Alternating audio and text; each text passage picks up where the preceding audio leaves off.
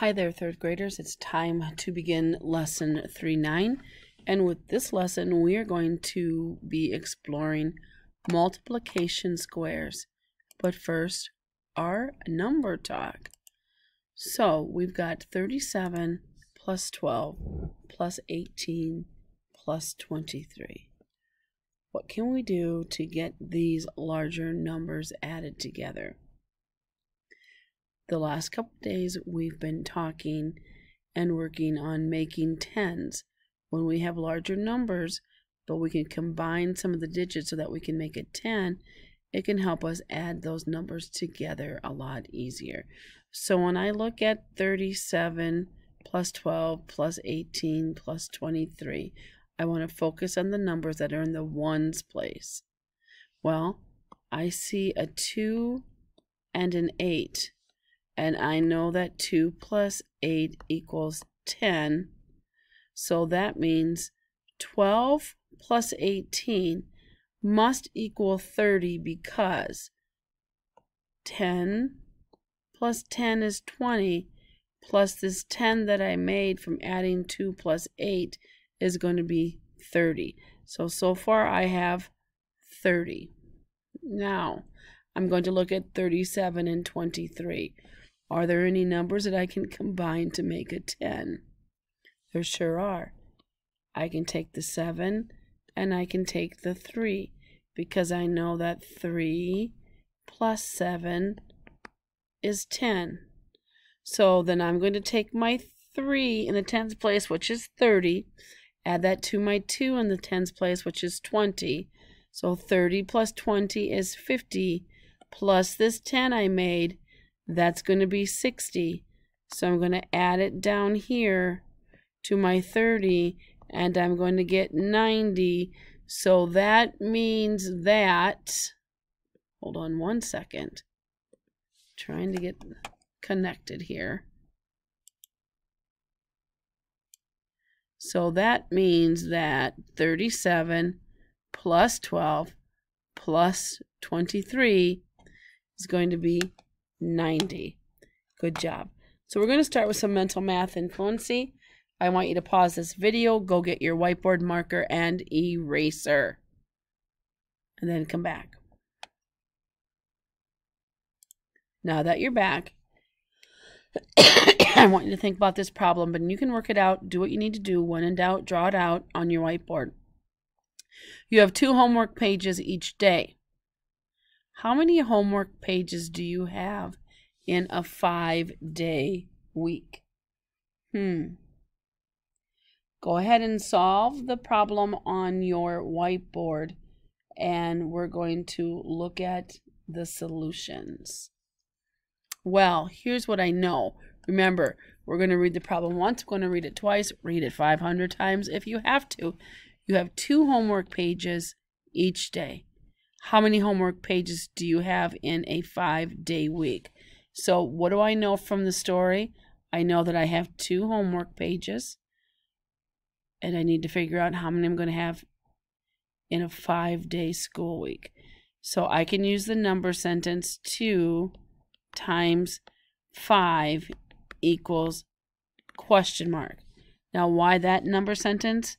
Because this is telling me that I have two homework assignments for five days. And what's that answer going to be, ladies and gentlemen? It's going to be 10 homework pages because 2 times 5 equals 10. And homework pages, because that's what we need to find out. That's our unit. And remember, when you are solving story problems, you always need to have your unit written down. Here's another one. A cook places 10 grapes in each of seven fruit cups. How many grapes are there in all? Well, what do I know? A cook places 10 grapes in each of seven fruit cups. Now we know we also have our strategy of when in doubt, draw it out. So that means I could draw my 10 fruit cups I'm sorry. How about seven fruit cups, Mrs. Flurry? I'm going to put 10 grapes in each. Remember, we're going to use tally marks to make it be nice and neat and tidy. So one, two, three, four, five, six, seven, eight, nine, ten. Do that in every fruit cup. We have the seven fruit cups, and we're giving each fruit cup 10 grapes. And then our task is to write a number sentence and find out how many grapes there are in all. Now, I don't want to do repeated addition. I know I could. I know I could. Because I know if I would do this in repeated addition and just keep adding 10 and count by tens, that'd be 10, 20, 30, 40, 50, 60, 70. But my number model, I want it to be a multiplication one because I have 10 grapes and I'm putting 10 into each of the seven cups. So 10 grapes in seven cups is going to be 70 grapes. We need our unit. And let's take a peek and see what they say. And they also say 70 grapes. Last one. Kara has five stickers on each page of her journal. Her journal has eight pages in it. How many stickers does Kara have? Remember, we're going to read the problem once, twice, 500 times until we know what we're being asked to do. So, what do we know? Kara has five stickers on each page. This is an important word. It's not saying she just has five stickers. It's saying she has five stickers on each page of her journal. Her journal has eight pages in it. How many stickers does Kara have? So we need to find out how many stickers Kara has altogether. Well, she has five stickers on eight pages. That's going to be our number sentence, our number model. We don't know the answer, so it's a question mark. Well, I can go ahead and draw eight pages, right? There's four, five, six, seven, eight. Give each one five and five. Nice and neat and tidy. I'm going kind of quick now, so it's probably not my best work. Then let's go ahead. Five times eight. I've got five, eight groups of five. Okay. So that's 5, 10, 15, 20, 25, 30, 35, 40. So my answer is going to be 40 stickers. All right, very good. Now, let's go to do some mental math, and you're going to need your whiteboard and marker yet. And what I want you to do is I want you to draw an array that has three rows of X's with three X's in each row and then write a number sentence that matches your array. Pause the video and do that, and then come back. So, does your array look something like this? Okay, I have an array. I have three rows of X's with three in each row. So I need a number sentence that matches my array. So 3 times 3. We are not going to do 3 plus 3 plus 3 because when I'm writing a number sentence that matches an array, it needs to be a multiplication problem. So 3 times 3 equals 9.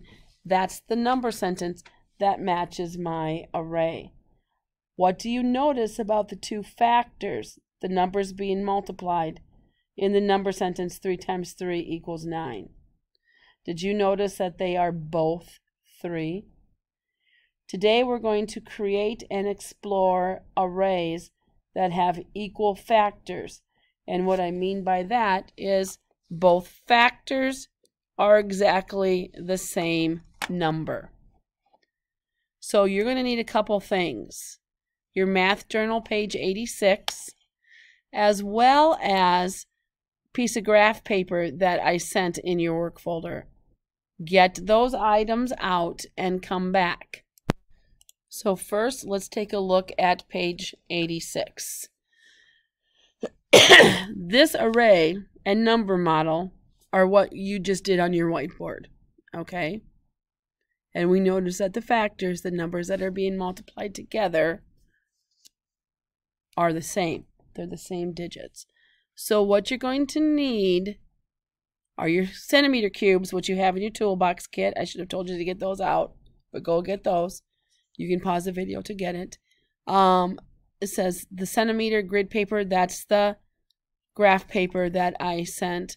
And it says some tape. We'll see if you need that or not. You probably won't. So what you're going to do is this. You're going to choose a number 1 through 10. Use centimeter cubes to build an array with that number of rows and that same number of columns. Well, here's what I think is not going to be able to happen. I know for a fact that you don't have enough centimeter cubes to do some of those problems that you might be thinking. So, for example, if you choose 10 and 10, which you could, you're not going to have enough centimeter cubes to make an array on your paper. So you can just do it with X's. So you don't need to get your centimeter cubes out. If they don't work out, if it doesn't work out um, with those, that's okay. Because we can just use X's. So basically what you're going to do is you are going to pick two numbers. I'm going to pick, oh, I'm going to pick three. My pen doesn't want to work. I'm going to pick three and 5. So I'm going to make an array for that. Now I apologize for my writing my pen just quick, so I'm quit, so I'm just going to use the mouse. So one, two, three, and then five in each row. Oops, not the neatest, I'm sorry and then write a number model, 3 times 5, count those up, equals 15. Now, how do I know my number model makes sense? Because I have three rows and I have five in each row. Now I want you to pick two of the same numbers. So for example, uh, I'll keep mine simple. I'm going to go 2 times 2.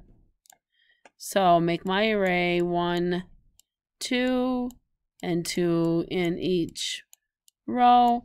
What do I notice? I have the same number of x's in each row, and my number sentence matches my array because I have two rows and 2 in each row. I'm going to try it again. I chose to do another one with 4 times 4. How do I know my number model fits my array? Because I have 4 rows and 4 in each row. Now, what do you notice about these arrays?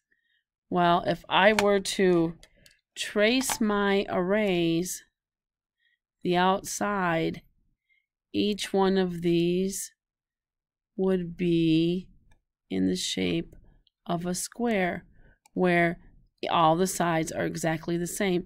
So this is 2, 2, 2, and 2. This one is 4, 4, 4, and 4. And we call those square numbers. Anytime I'm multiplying, when the factors are the same, we call those square numbers. And that's something that we will be working on over the next couple days.